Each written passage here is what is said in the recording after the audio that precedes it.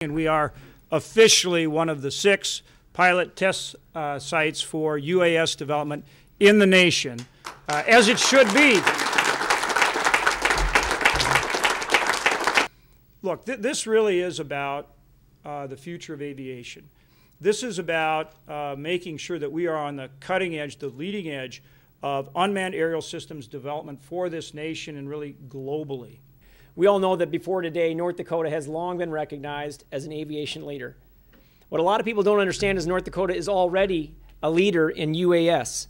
Uh, all across the country, this is recognized. But with this designation today, by being selected as one of the six national test sites, the FAA has, has identified uh, the stature of our state, the, our capacity for leading in this important endeavor up ahead. It's like the good housekeeping stamp of approval in the arena of UAS, and uh, the future could not be more bright. This did not happen because of these folks up here. It happened because of all of you in this room. It happened because in North Dakota we work together. We think about things differently. We think about things without boundaries.